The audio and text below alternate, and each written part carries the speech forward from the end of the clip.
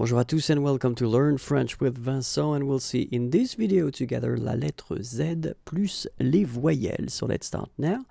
Z, ZA, Z, ZE, Z, Z, Z, ZO, Z, ZU, Z, Z.